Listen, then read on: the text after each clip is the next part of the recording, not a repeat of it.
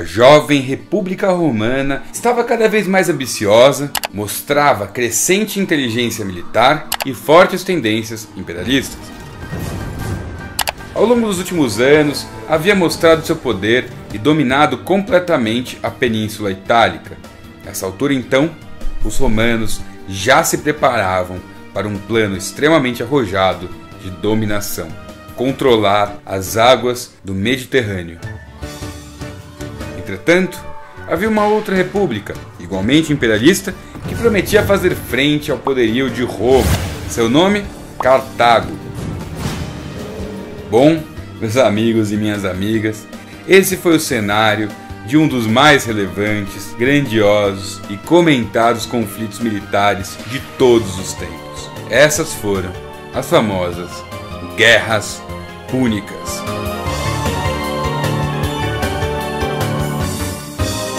Cartago e Roma eram potências emergentes e ex-aliados de guerras antigas. Se não pelo destino, mas pela vontade de seus líderes, essas nações eventualmente entrariam em conflito.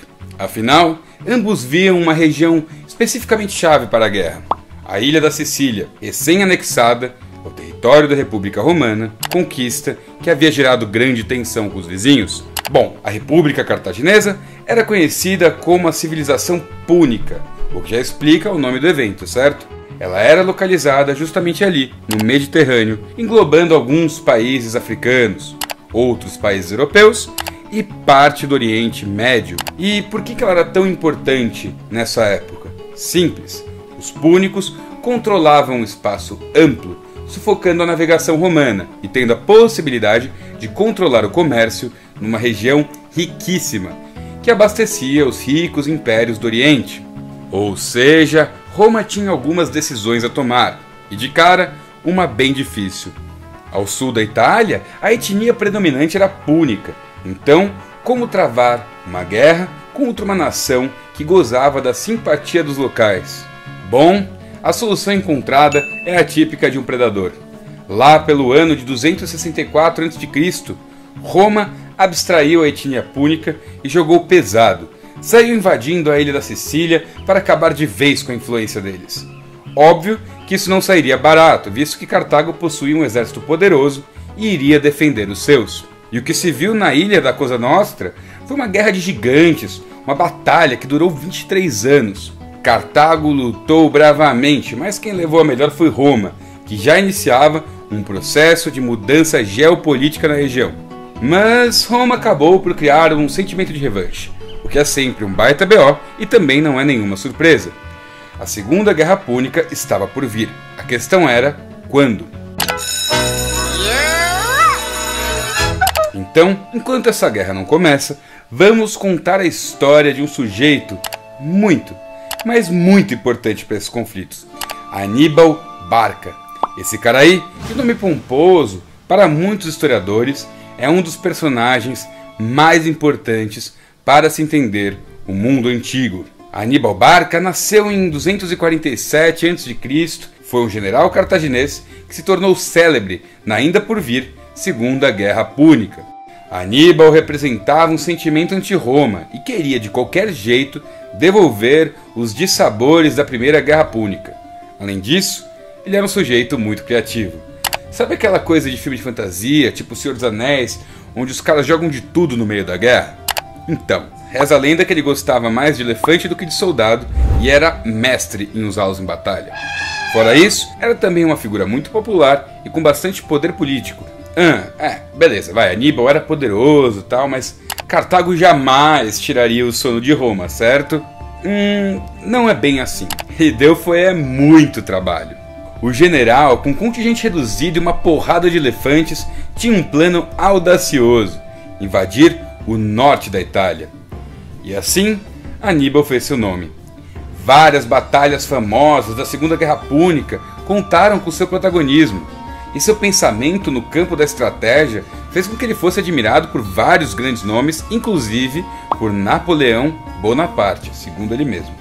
Entretanto, mesmo com Aníbal e suas brilhantes campanhas púnicas, Roma estava em uma fase ascendente e era uma terra de grandes guerreiros. Então, após 17 anos de batalha, novamente a Cidade Eterna triunfou. Muito bem, o fim da Segunda Guerra Púnica foi complicadíssima para o povo mediterrâneo. Pesadas indenizações foram pagas e Cartago iniciou seu processo de declínio. O Senado romano havia decidido que a República Cartaginense seria um estado vassalo. Isso fez com que aquela civilização assinasse onerosos tratados, como o da obrigatoriedade de reporte a Roma em caso de guerra. De um jeito ou de outro, o Mediterrâneo agora era de fato romano. O mar é nosso. Mare Nostrum. Esse foi o nome de afeto dado pelos romanos ao Mediterrâneo, um mar para chamar de seu. Cartago, agora com o comércio destruído, volta suas atenções para as terras rurais. Isso a longo prazo gerou grande desenvolvimento e manteve vivas as suas aspirações de derrotar Roma. Vale destacar, os cartaginenses eram muito bons, disciplinados e sabiam como prosperar economicamente. Na contrapartida, os romanos dessa época saíram em diversas campanhas no Oriente Médio e viram sua economia voltar-se ao abastecimento daquela região.